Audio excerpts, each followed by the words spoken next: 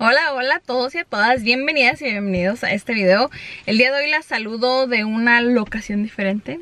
Estamos en la camioneta. Eh, La verdad se me hace que hay buena luz, así que vamos a aprovechar esta luz del día de hoy. Voy a estarles haciendo un tipo story time. Ah, Hay mucho, mucha tela que cortar de este tema Del cual no estoy 100% informada de todo. No estoy eh, 100% llena de experiencia en esto, pero lo que yo he aprendido en este camino eh, me gustaría compartirlo con ustedes y de algo les sirve nuestra experiencia pues con todo gusto. Por lo pronto voy a tratarles de platicar cómo fue que agarramos estos segundos apartamentos.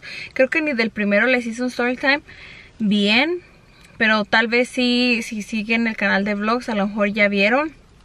Eh, me siento tan bendecida y agradecida con Dios de poder decir esto que el día de hoy contamos con 21 puertas de apartamento a mis 28 años mm, como que para muchas personas tal vez ya es um, estamos jóvenes y para otras tal vez no porque hay de todo en la vida hay gente que desde bien chica yo creo comienza en esto o no sé, ¿verdad? no sé. El chiste es que nosotros apenas estamos pues empezando en esto. Y en Instagram les compartí una foto, aquí se las pongo, que les decía que nuestra realidad del día de hoy es un camino que hemos venido recorriendo a lo largo de mm, los años. Y eh, donde estás ahora, tú, yo, eso es el resultado de un montón de decisiones que has ido tomando todos los días a lo largo de tu vida. Entonces no es como que de la noche a la mañana te levantas y ¡pum! ya tienes todo lo que tú quieres. No, es un conjunto de decisiones que desde con la persona correcta que te casas, desde dónde decides eh, vivir, dónde todo. Les digo, es un conjunto de decisiones que te van llevando por el camino el cual estás ahora viviendo. Y con eso quiero decirles que yo no estoy en la meta del donde quiero llegar, así como tú también puedes cambiar el rumbo de tu camino y todos en general. Ok, ahora vamos a comenzar por el principio. a lo mejor les digo ya si nos siguen de vlogs atrás ya sabían eh, los otros apartamentos que los agarramos. Los estaban vendiendo porque ya los dueños anteriores ya este el señor había fallecido me parece y la señora pues ya estaba mayor de edad. Así que ya eh, todos los hijos están retirados y pues nadie se quiere hacer cargo de eso. Ya o sea, estamos hablando de ya los dueños, la señora está bastante grande, la ex dueña. y me hacen un montón de preguntas, pero eso quiero como hacer una recopilación, si así se dice, y poder platicar mi experiencia bien y espero podérselos tener pronto para eh, como enfocarme más en más... Ah, para poder alargarme y tratar de darles más información. Por lo pronto, em, les digo, este es un story time. Pues bueno, resulta que veníamos de México cuando fuimos en julio, junio. Fue los primeros de julio que veníamos y yo siempre me meto a ver eh, si venden casas, pero no porque estuviéramos comprando, sino porque mera curiosidad y no sé, siempre me gusta ver en cuánto están los precios, y ponen una, eh, como sé el precio de todas las casas que están poniendo en la marqueta. No me pregunten por qué, así soy y mm, será chismosa, no sé, pero, o sea, es algo que me interesa, eh, estar viendo el precio de las casas, como las propiedades en ciertos rumbos cuestan más que otras y así resulta que estaba, veníamos en camino y estaba viendo yo que habían puesto ese, pues es una casa, y, pero decía que era como pues estudios y apartamentos y ya luego, le dije a Daniel, mira lo que acaban de poner, pero solo Dios sabe por qué hace las cosas porque yo como muchos de ustedes a lo mejor tengo hipoteca, estamos pagando eh, una hipoteca y si tienes uno, en un tiempo atrás sí pensábamos que todo lo que entraba a nuestras manos lo dábamos a pagar la hipoteca, ¿verdad? Esa deuda que tienes ya. Todo como para tratar de saldarla eh, lo más rápido que se pudiera. Pero de un tiempo acá, tiempo atrás, eh, le, Daniel es el que se encarga de mover eso. Y le dije, no sé, siento que tenemos que tener, es importante tener, no sé, 5 mil dólares para una emergencia, por ejemplo, dependiendo del número de familia que tengas, si eres tú sola, pues menos, si tienes más familia, pues más, es, depende eso, la familia que seas. Uh, la luz está cambiando, se ve muy bonita. Y de un tiempo para acá le, le dije a Daniel que guardáramos, uno nunca sabe se podía ocupar un down payment. Así le dije. Y él así como, pues si quieres, pero como no creo. Y yo, no, sí, como hay que guardar, uno nunca sabe, por ahí sale algo y se necesita. Porque muchachas, más vale pájaro en mano que ver un ciento volar.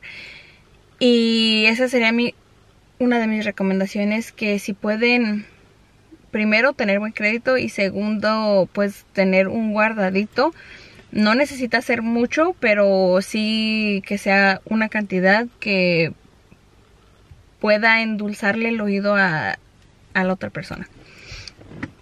Resulta que pues ya teníamos meses guardando, pagábamos nuestra hipoteca y guardábamos otros centavos, ¿no?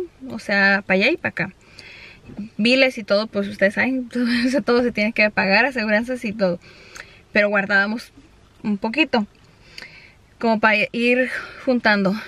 Entonces, ah, resulta que les digo, vi eso en el camino, de volada le hablé al señor esas horas, hice una cita, lo vimos en viernes, yo lo vi en viernes y para el lunes ya tenía yo mi cita para ir a verlos y pues ver. Íbamos a ir el lunes y resulta que por ahí el sábado, domingo, este, creo que sí, el sábado Luego, luego uno, un familiar de nosotros nos mandó mensajes que es un hombre que es por parte de Daniel, que iban a ir a ver esa propiedad. Y yo así como, ya dijo Daniel, no, bueno, pues deja que fulanito cheque primero, si le gusta, pues que lo agarren, al cabo nosotros ya tenemos algo y que ellos también le entren. Y yo, bueno, pues sí, tienes razón. Pero como es familia, dices, ok, primero tú. Y así fue como lo hicimos. Primero fulanito le trató agarrarlos al banco y todo y fulanito me dijo, haz la lucha tú también por tu cuenta, uno nunca sabe. Y dije, tienes razón, no me voy a quedar con las manos cruzadas. Y mientras fulanito estaba intentando, yo estaba por otro lado intentando con el banco. Entonces, eh, fue como para ir con el tiempo, ¿no? Para no dejar ahí sentado eso. Porque cuando son cosas así, vuelan propiedades, eh, hay gente que tiene todo el dinero y llega y sas, la compra y pues te dormiste. El chiste es amarrar trato más pronto, bueno, así pienso yo, mis pelillos. Y pues bueno, pasó algo de tiempo y fulanito no, no pudo quedar bien con el banco ya que es una casa con cinco apartamentos, lo cual lo hace muy difícil ya que se necesita que sea solo de dos para que el préstamo sea em, simple, vamos, porque ya cuando es de dos para arriba, de dos casitas, por decirlo así, eh, ya es un préstamo comercial. El préstamo comercial es demasiado complicado en mi opinión. Eh, la verdad sí batallamos bastante con... O sea, ya, ya hemos intentado como un préstamo de casa. Fue largo, es tedioso, eh, como para agarrar tu casa. Pero el préstamo comercial sí fue en nuestra perspectiva fue más difícil ya que no teníamos idea de lo que estábamos haciendo se ocupa el 30% de la cantidad en general y pues depende casi la mayoría yo creo que el 90% de las propiedades comerciales que están a la venta pues son precios más elevados que una casa que un terreno, un lote. Entonces ahí era donde pues están más caros, los precios están más elevados, por lo tanto es más difícil conseguir ese porcentaje, ¿verdad? Ya más o menos tenía, contando, contándoles eso, ya más o menos tenía yo una idea de lo que íbamos. Dije, si ya este, pasamos por una vez, puede que podamos hacerlo otra vez. Mm, resulta que pues no se pudo con el banco porque pues ya tenemos una hipoteca y eh, pues no puedes agarrar tantas cosas así. Mm, el chiste es que no se pudo con el banco y pues como que me agüité cuando me dieron la noticia, como les digo, yo hice la lucha, por mí no quedó de ese lado. Eh, de esta forma se iba a pagar solo, obviamente tú tienes que poner un poquito más al comienzo, pero después de eso, eh, corriendo números y desde el principio ver que las rentas salga para el pago, pues eh, hay propiedades que sí y hay otras propiedades que no. Entonces, este, me agüité porque me dijeron que no en el banco y a fulanito le habían dicho también que no. Y dije, ¿qué? Ya nos quedamos ninguno de los dos, ¿verdad? ¿Cómo le vamos a hacer? Eh, se me ocurrió buscar un, una persona y poder, no sé cómo se dice, un socio, eh, un prestamista, no sé, una persona con la cual asociarme, pero con el dinero, como un banco, pero fuera del banco. Se me fue el nombre. ¿Cómo se llama? No estoy segura cómo se llama. Pero yo tenía una persona con la que podía contar de ese lado. Hice la lucha, le expliqué mis números. Eh, obviamente le tienes que pagar un, interés a ese prestamista. Pero cuando vi que tampoco se podía por ese lado, eh, o sea, como es que era tipo socio, pero no, porque la propiedad iba a ser de nosotros, pero le íbamos a pagar un interés por el dinero que nos iban a prestar al prestamista. Inversionista, más bien. ¿Inversionista? ¿Prestamista? No sé. Ustedes llámenle como quieran. Pero el otro se llama Perenganito, ¿ok? Perenganito no, no se pudo. Y pues Manganito tampoco pudo. Entonces ya dije, ¿cómo le vamos a hacer? Como nunca me di por vencida, como me decían que no, yo, ok, de esta forma no, pero ¿de qué otra forma se puede? No recuerdo, pero tal vez no. Creo que al principio no sabíamos que la propiedad era de los mismos dueños a los cuales les habíamos comprado el otro edificio. Pero aunque no hubiera sabido esto yo, igual puedes aplicar esto para cualquier otra propiedad. Eh, yo no tenía el número directo con el dueño de la propiedad. Así que yo traté de buscar el número de la persona para hablar con el dueño y tratar de hacer un trato dueño a dueño. Que era pues mi última opción. Y dije, pues, nada pierdo con intentar.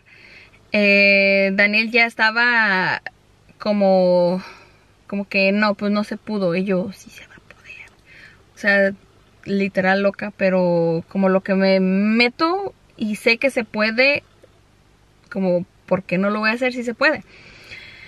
Y pues así pasó. Eh, un día me estacioné afuera y estaba viendo así los apartamentos y llegaron unas muchachas y le dije que si no tenían el teléfono, ya sé, suena algo creepy, pero les dije que si no tenían el número del dueño y me dijo que iba a preguntarle a su amiga, que porque su amiga era la que vivía ahí. Me dijo, oh, ¿estás interesada en el edificio, en el apartamento que está vacío? Y yo, sí, eso. Que ok, que eh, dame tu número y yo mañana te marco con el número. Déjale pregunto a mi amiga porque mi amiga está fuera del pueblo y que no sé qué. Yo sí, sí, le di mi número, agarré el número de la muchacha, le puse muchacha que me encontré fuera del apartamento, así. Pero como ya para este entonces, ya sabía yo que era el dueño, el ex dueño o ex dueña más bien, ¿verdad? La señora que le habíamos comprado nosotros el primer edificio era dueña de este otro ah, apartamento que se estaba vendiendo. Edificio, no, es casa. yo tenía un número del señor con el que habíamos hablado antes, o sea, más de un año. Y yo antes de ir ahí afuera a estacionarme, yo traté de marcar eh, para hablar con el señor. No me contestó, así que mi otra opción, sea, les digo, no me estaba dando por vencida. Mi otra opción fue pararme fuera y conseguir el número del señor. Pero, o sea, yo pensaba, dije, a lo mejor cambió su número, por eso el que ya tengo no sirve y necesito el número nuevo. Entonces eso era lo que yo quería, el número nuevo del señor. Y fue lo que hice. Eh, pero la muchacha no me contestó. Entonces marqué una vez, no me contestó nadie. Dije, sabe, al otro día volví a marcar, creo que tampoco me contestaron. Y yo, sabe, y como en dos días volví a marcar y me contestó el señor y bingo. Pues se la canté. Como dicen. Le dije quién era yo, le dije, ah, ya habíamos hecho un trato el año pasado. Este, estoy interesada en la propiedad. Eh, pero me gustaría hacer un trato dueño a dueño. Y el señor dijo, ¿qué me ofreces? Y yo, soy muy buena gente. no, pues, ¿qué le ofreces? Ahí es donde les digo, es cuando le tienes que endulzar el oído a la persona. Obviamente un down payment entre más grande mejor. Nosotros teníamos creo que lo justo porque esa propiedad que acabamos de agarrar nosotros se debía, tenían una hipoteca en esa propiedad, lo cual lo que nosotros teníamos ahorrado con todos nuestros ahorros de vida se ajustaba a pagar eso y justo. O sea, ¿saben lo que les estoy diciendo? Como teníamos esto y ellos debían esto y para fin de que se hiciera el trato tenía que hacer así. Como ni mandado a hacer. Entonces pues ya se hace todo el papeleo, procedimiento, ¿verdad? Pero antes de eso pues le dije como no sé tanto y me dijo yo debo tanto al banco y me gustaría saldar esa cuenta para que pasara a ustedes y ya el banco no fuera el dueño. Él lo dijo. Y yo pues sí, como tengo una idea de cómo funciona eso más o menos. igual hay riesgos para todo, así que es mejor tener pues las cosas en claro, papeleo y todo.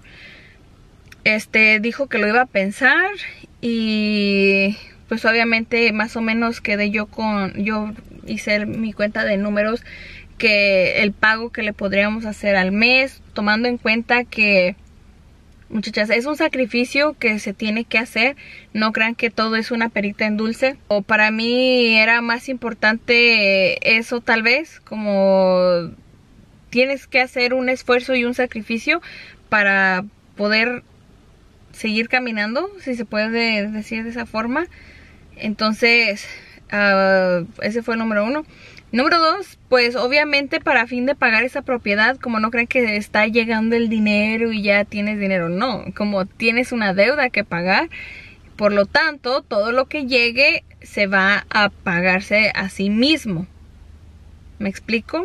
Obviamente al principio nosotros vamos a tener que poner de nuestra bolsa para ir alimentando eso. Eh, una vez que esté saldado eso es cuando pues te da frutos o igual mucha gente que se dedica a esto al real estate eh, en realidad lo que hace es nada más como agarrar la propiedad que se pague sola con las rentas y en 5 años, 10 años eh, dicen la voy a vender, ellos nunca pusieron nada pero no hicieron la lucha por pagarlo más y ahorrarse intereses y pues al final de cuentas si todo les sale bien pues si tienen rentado siempre y nada que les atrase pues sí agarran todo el dinero que los que estaban rentando pagaron, ¿verdad?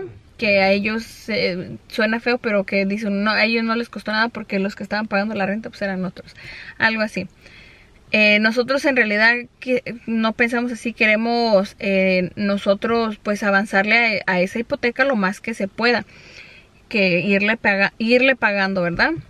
Entonces, así quedó el señor que lo iba a pensar y yo, muchachas, mi panza un nudo, tenía asco, tenía alegría, tenía nervios, como un montón de emociones, como de pensar que era una esperanza. Cuando hablé con el Señor estaba yo tan contenta que dije, una esperanza que tal vez sí.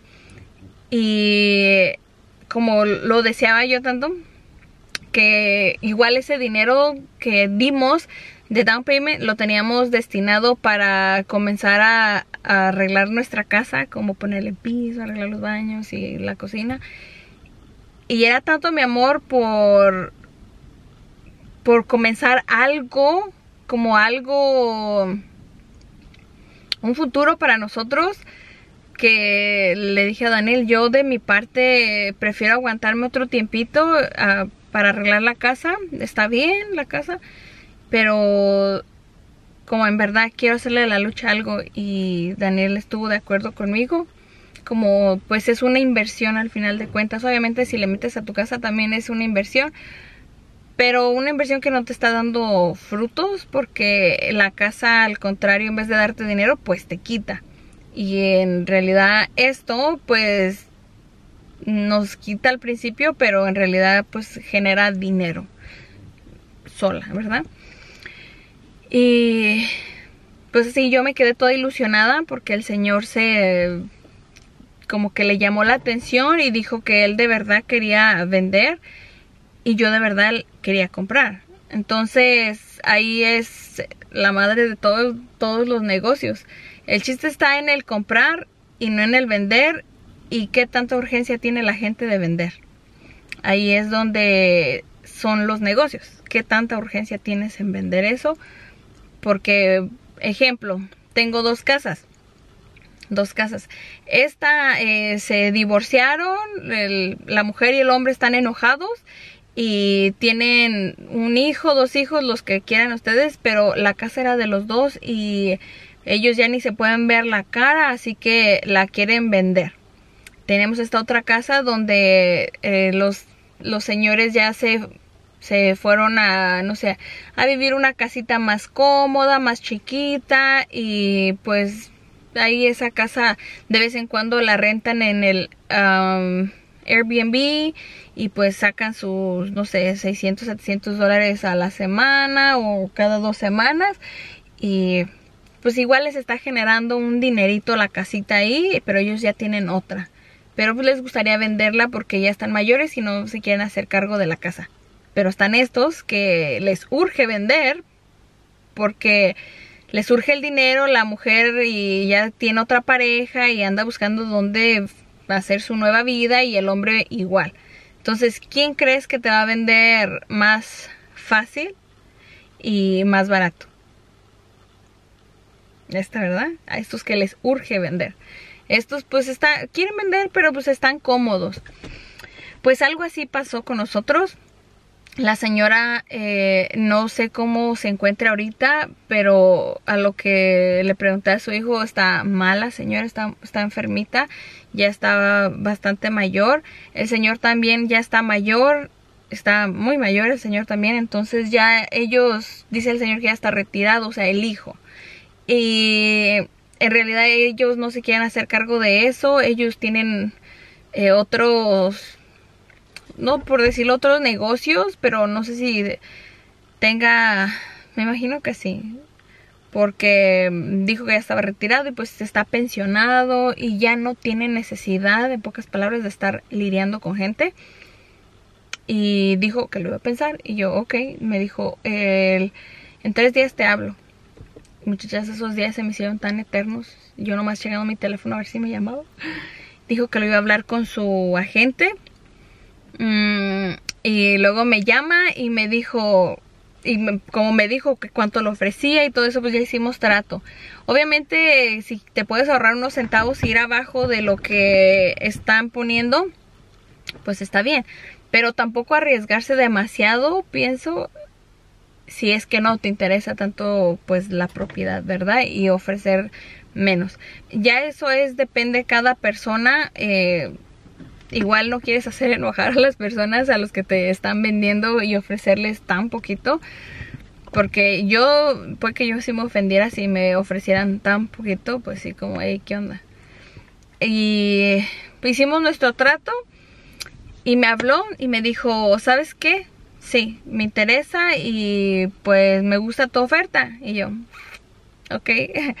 y pues lo siguiente es que voy a llevar esto a mi corredor y va a checar que el título, que todo esté bien, un abogado, papeleo, que me vas a dar pagos de tanto, cada tanto y un down payment de esto y tienes que tener la aseguranza. Es como básicamente el, el señor es el dueño y, o sea, los dos, nosotros somos el dueño, pero él está de lien holder, la señora. Y, muchachas, eso me hizo ver que cuando haces el trato por fuera es tan rápido a que cuando lo haces con el banco es un proceso que inspección, que tienen que checar eso, que quieren ver a tu abuelita, a ver si tu abuelita les dice que sí, como te piden tantas cosas en el banco en ocasiones. Y el señor pues eh, yo creo que el señor por una parte sí les digo que tuvimos suerte porque confió en nosotros porque ya le habíamos agarrado una propiedad. Y hasta eso pues, dice el señor que le da gusto que somos una pareja joven y pues que le echemos ganas. Pues como todos los mensajes tan bonitos que nos dejan ustedes verdad algo así. Es un americano. Fue un poquito diferente que la primera vez. Fue más fácil, quiero decir, porque la vez pasada, mm, les digo, fue un, una flatulencia. Fue, sí fue grande. por el préstamo y todo. Y eh, pues este fue diferente, fue por el dueño. Entonces el señor nos está financiando a nosotros. Hay un interés, hay un día de pago, hay una fecha, eh, un plazo. En tanto tiempo se tiene que pagar eso. Y pues yo estoy contenta. Todavía no damos el primer pago porque te perdonan el primer mes y así. Pero estoy contenta. No sé, como...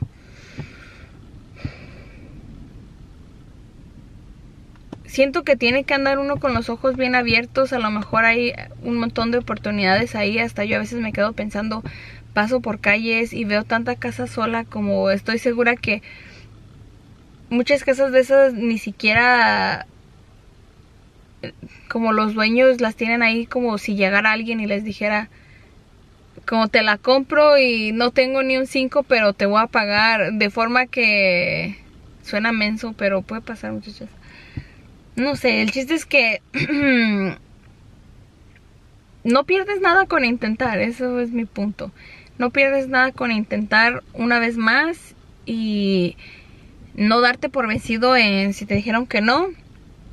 Puedes intentar otra vez y en el blog les dije, mientras sea bueno, intenten otra vez. Mientras sea para algo positivo, para algo eh, bueno, puedes intentar siempre otra vez. Y así fue como nos hicimos de esa otra propiedad. Alguien me decía que muchachas, en realidad esto, como estoy diciendo cosas que no debería de decir, tal vez como no, no gano nada si les digo y si no les digo tampoco, pero como si yo fuera, como yo quisiera que alguien me dijera lo que les estoy diciendo, como yo quisiera eh, ver a alguien que, que me contara todo esto. Entonces, si les sirve mi experiencia de algo desde el fondo de mi corazón, eh, esta es la verdad. Eh, tienes que pasar algunos sacrificios, les digo, para fin de mm, hacerte de algo, porque no crean que es tan fácil, pero tampoco es tan difícil. Nada es tan fácil, pero tampoco tan difícil que no se pueda lograr. Así que ya eso es decisión de cada quien de cómo ve las cosas, decisión de si ves las cosas con los ojos abiertos o decides ponerte una venda y no ver las cosas como los demás las están viendo. No sé. Eh, hay gente, les digo, que no ve negocio en eso y hay otra gente que sí, que ese es su sueño también. Y les digo, yo nunca pensé, me he inspirado en un montón de personas que se dedican a eso. Les quiera decir que pues por herencias o algo así, pero pues la verdad no. Eh, eso es pues rascándole uno ahí con sus uñas. Pero igual consejos muchachas, si puedo yo voy a tratar de, de hacerles videos y compartir con ustedes. Porque se puede comenzar desde cero, sí se puede mm, te tienes que amarrar un huevito, como dicen, pero sí se puede también. Tan simple como nosotros cuando compramos nuestra primera traila, eh, a la hora que la compramos, o sea, yo todavía ni hacía videos ni nada, que como les digo, eso es un conjunto de decisiones que hemos tomado en el pasado, pues ahorramos y ahorramos y ahorramos hasta que tuvimos lo suficiente para comprarnos la traila. Al momento de pagar la cash, eh, tienes la ventaja que puedes ofrecer un poquito menos y eso nos ayudó de ese lado. Eh, no teníamos absolutamente nada cuando nos casamos, Daniel y yo, no teníamos nada más que eh, el amor del uno por el otro y ilusiones y esperanza en que un día Dios nos ayudara, ¿verdad? Eso era lo único que teníamos pero en realidad pues empieza desde abajo, no crean como les digo, muchas personas a lo mejor se les hará como, oh, wow, otras como, ah, mendigos apartamentos viejos, porque hubo comentarios que dijeron eso, pero y también me decían que de la que aquí estaba más barato que en California. Es que ya esa es otra cosa, muchachas. Como les digo, eso quiero platicarlo en otro video. Pero eso es otra cosa. Mm, aquí las rentas no son tan caras como en California. O si te agarras una... Sí, si te agarras una casa en California no la vas a rentar en 600 dólares, 500 dólares, ¿verdad que no? un cuarto, no sé, díganme en los comentarios cuánto rentan un cuarto en California o una casa de cuánto. En Nueva York también me imagino que está súper caro. Ah, aquí en este pueblo donde nosotros vivimos, aquí es más caro que los alrededores por la razón que aquí hay dos plantas que ahí trabaja muchísima gente. No estoy segura, pero el pueblo tiene 30 mil personas y casi estoy segura que el 70% de la población de este pueblo trabaja en esas plantas. O sea, es una fuente de ingreso que abastece a... Se me cortó. Les decía que esas plantas son unas matanzas de vaca. Eh, abastece a toditito el pueblo y las engordas que hay aquí, hay creo que hay varias engordas donde pues engordan los animalitos para matarlos y exportan a todo el país hasta a todo el mundo en general. Mandan eh, trailers llenos de carne a no sé a Japón. No sé no sé a todo el país todo el país todo el mundo. Hacen viajes para todos lados. Entonces por esa razón es por lo que las casas aquí están un poquito más elevados los precios que en otras ciudades como en, tan cerca como en Wichita, ya les he mencionado yo, allá las casas están más baratas que aquí, con lo que aquí te, no sé, una casa de 400 mil dólares aquí es una casa pues bien bonita, pero en Wichita si quieres una casa de 400 mil dólares pues es como algo, una mini mansión.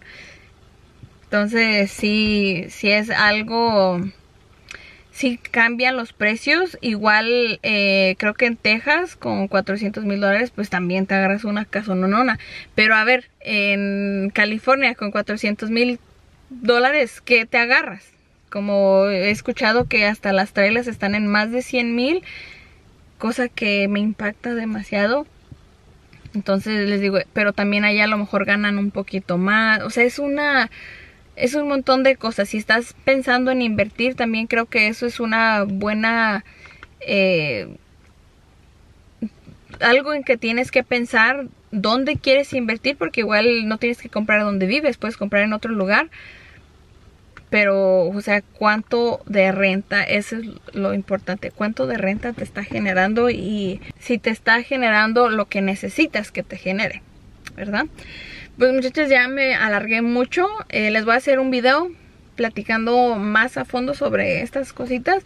Solamente les quería pues un tipo platicar nuestra experiencia, que vean pues, la realidad de las cosas. No es como que llegamos con todo el dinero y lo quiero. No, como aún se tiene que pagar eso. Igual no te puedes endrogar a montones, como ahí tienes que echar cuentas tú echar números y pole, se te van dos, tres renteros, ¿cómo vas a pagar ese siguiente mes? ¿Cómo vas a pagar el otro? Como tienes que tener en cuenta todas esas posibilidades, así que pues nada, me despido, ojalá les guste este video, les sirva y las veo en el próximo video. Eh, muchísimas gracias por estar aquí, por todos sus comentarios de aliento. De verdad, eh, llenan mi corazón infinitamente, me lo esponjan así bien bonito. Me siento súper agradecida a leer cada uno de esos comentarios eh, tan lindas que son, de verdad. Muchas, muchas gracias y pues nada, les digo, me tengo que preparar para el otro video, que el otro video sea más informativo eh, pasos también para ustedes que pueden seguir y pues nada, las veo en un próximo video. Hasta luego.